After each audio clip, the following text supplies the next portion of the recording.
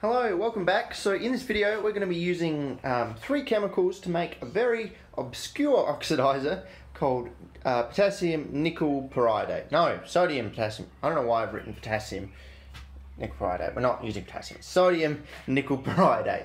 This is very interesting because it contains nickel in the plus 4 oxidation state which is very, very rare for nickel and a very high oxidation state. To start with, we've got some nickel nitrate. So I made this from nickel carbonate, is what I brought from a pottery store, I think in the US, quite a while back. And I used that nitric acid we got from the suck back the other day. Um, that was meant to be red fuming nitric acid, but ended up being quite um, somewhat more dilute. Nice Doritos container for it. We've got a sodium periodate, which we made the other day using chlorine and um, sodium iodide. And we have here a, ammonium persulfate, which is a chemical I don't use very often, but have quite a lot of, as you can see here. So nickel here is nickel 2, uh, which is this lovely green colour, and that's the standard oxidation state of nickel. The nickel 1 species aren't that unheard of. Um, there's quite a lot of nickel 0 sort of complexes, um, metal organic stuff. Nickel 3 is rare, you know, very rare, and same with nickel 4 is exceedingly rare. Uh, we're kind of winging it here. I've got I've got some odd details from um, a paper uh, published a little while ago, um, but they didn't use any exact amounts of anything. They just, I think they just chose round numbers and went with it. But it's at least proof that this should definitely work. I'm going to add about 500 mils to this nickel solution here. And we want it to warm up once it gets about 80 degrees, we're close to boiling really. See it's the lovely nickel 2 colour and then once it's hot enough we'll add in uh, sodium periodate, which is here. We've got 14 grams to add in. And while it's heating up, I think it's worth mentioning why we want to make this. Um, apart from the fact that it's interesting, because it's quite an obscure reagent, and hopefully should be some nice colours. The real reason we want to make this is that periodonickelates or nickel periodates are one of the few chemical oxidizers that can successfully oxidize bromates to perbromates, uh, apparently. Really, what we're chasing here is perbromates. And it's not because perbromates are some super oxidizer or something like that. It's just because they're arseholes and don't want to be made. I'll explain more in the perbromate videos, but um, it's quite a rare event to actually have some perbromates, so I think it'd be quite good if we managed to get some. We need some nitric acid, so it needs to be slightly acidic. The paper mentions that uh, it needs to be slightly acidic for it to work, but it doesn't work if it's too acidic. So it's one of those vague, you know, how acidic is too acidic, what sort of acidity level, we're just going to have to guess that. I, I, have a feeling I don't want it to be too basic when I add all this periodate in, because this might be quite basic because it's the orthoperiodate or whatever. Um, and if we precipitate out all nickel hydroxide and stuff, then it might, you know, just make the synthesis cactus from the start. So just going to add in a splash of nitric acid and then once after we add all this um, orthoperiodate in then we can hopefully adjust the pH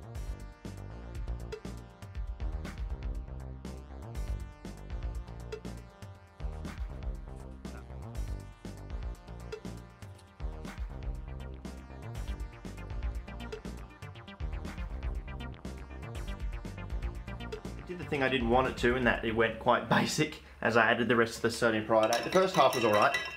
Oh, calm the fuck down. First half was alright, but second half was just too much periodate for the acid I added, but that's fine. I think we've adjusted it. So it's a weird browny grey colour, which I think is what we want.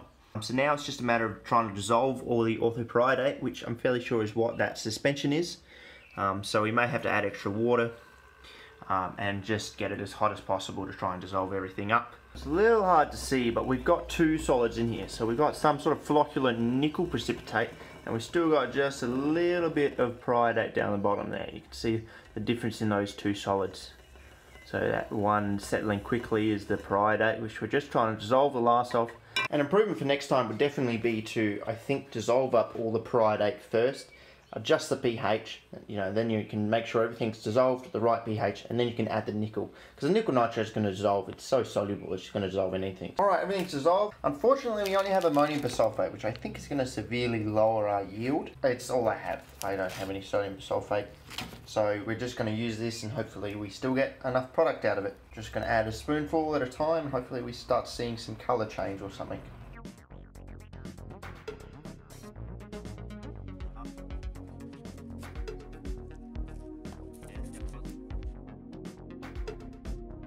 Alright, got to this colour in about two minutes. this is a colour I thought it was going to go eventually after a couple of hours, but I don't know, I added about three teaspoons, of this. I think we're going to add a little bit more of this um, and then just stir it for quite a while. It's not like we can over oxidize it. you know, there's nothing more to go to past nickel 4, so might as well just add in some extra stuff and then, and then we'll just stir it for a while. In the paper, it stirs it at 80 degrees for 4 hours. It does look like it's slowly bubbling. It's a bit hard to see. Could just be boiling, but I think it's interesting observation that it's giving off a gas of some sort. Assume it's oxygen in this kind of environment, but who knows. I think it's the right colour. Uh, the colour was meant to be red, reddy black, which is, I think, exactly this. Alright, I've stopped the heating. I think this is about as good as we're going to get it, so hopefully it all settles out. There's a lot of hopefuls in there, but I feel like it will. You can sort of see the particles of it around the side there, so it's definitely a suspension, but hopefully it settles out nicely and uh, lets us filter it out. Alright, I let it stand in the fridge overnight and we have a nice, I shine some light through it, got a nice precipitate there down at the bottom. It's kind of a brick red colour, which is different than what it was yesterday. Well, the suspension was kind of purpley black, but now we've got a brick red solid over a, slightly green solution. Um, I'm just going to put some filter paper in there, you know, above the frit too, because I'm worried this particles might be really small, because they did take a while to settle, and I don't want anything travelling through the filter, so I'm just going to put some filter paper in there. Yeah, it's exactly what I thought might happen. So the, the green stuff, there's a liquid on the top, um, but you can see the stuff's passing right through the filter and the filter paper, so. All right, it's really not filtering, but I managed to get a little bit, um, and it's got this really weird look to it. Oh, if I go outside, I think it's easier to see. See, it's got a really weird, like, metallic sheen to it. It's like a lot like permanganate in that sense, but it's more sort of steel grey. There's obviously a lot more to get um, but I just managed to, it's only this amount was really caught in the filter paper there. Uh, and went through and then I dried it with some acetones. I guess we've got, we got to go about recovering all the rest of it, but um, is there's enough there to, to test some properties out, so uh, while I'm collecting the rest of this, we can actually do some testing to see if it's the thing we actually want. Alright, so we've got our solid here. Let's try and see its solubility in three different conditions. So I'm just going to add a small amount to each test tube.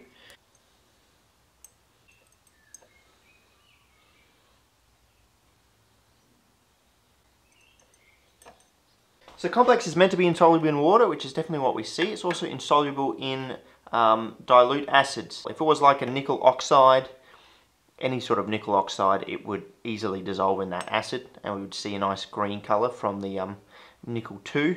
However, in strong bases, we see that it does dissolve um, to form a brown solution. This is, this is um, what should happen according to literature too, so this is good evidence once again.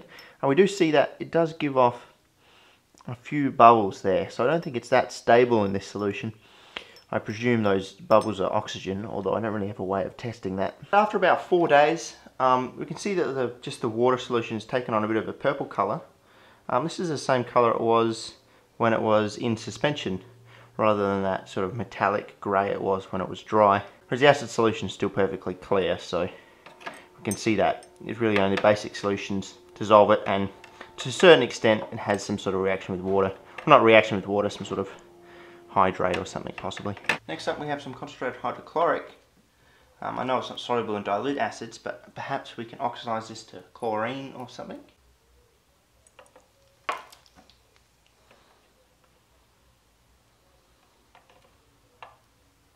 Alright, well there's nickel too. Alright, we'll give it a quick smell. Yeah. Yeah, no, it's definitely chlorine coming off that. So we're definitely oxidizing it to chlorine. For sure. No doubt about that. Oh, disgusting. So what we really need to do is we need to test for iodine. So uh, first I'm going to get some dilute nitric acid here. Just put a little bit. Next I'm going to add some of our complex. So just a small amount once again. Here's our complex. Next, what I'm going to do is uh, a real big indicator for iodine is starch. So I have some spray starch here for use in ironing. Just did some tests before and this is a pretty good indicator for um, periodate. So I'm just going to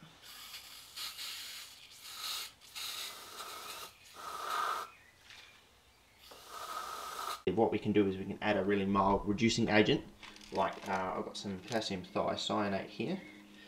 Um, and I'm just going to add one crystal of that to this. So if there's any periodate or any iodate in this complex, um, it'll react with the thiosulfate, reduce down to iodine, and then react with the starch to form a very dark coloured complex. So that's what we should see if there's any iodine in the complex.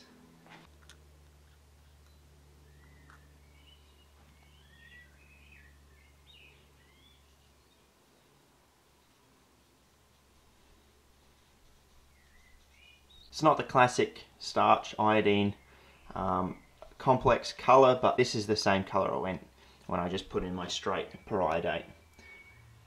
That um, really tells us that there's iodine in our complex. It's not some weird um, nickel species, so that's great. Now we've done the characterization and we're confident that what we have is our um, sodium periodonickelate we can really have a look and see about our yield. And our yield actually in the end was only 1.1 grams. That's not including all the stuff we have to use for testing.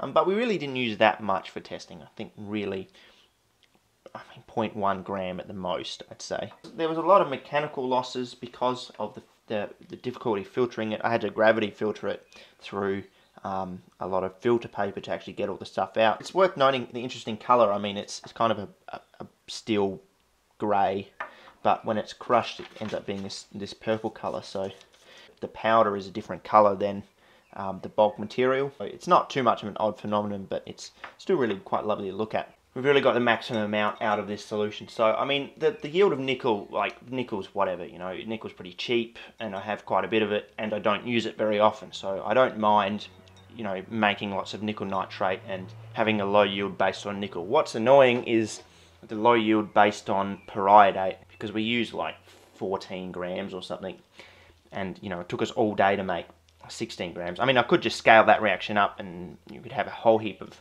periodate but um, I don't have heaps of iodide and the iodide's expensive and not something I want to be buying all the time. I'll have to think about whether I have to do this again and to get more of our complex in order for the perbromate synthesis to be a success. I would like to have reasonable quantities of perbromate you know, that we can actually work with rather than really micro scale stuff. I hope you enjoyed this video anyway. I'm making a quite an obscure oxidation state, very high oxidation state, and I'll, I'll see you in the next video, whatever that one is.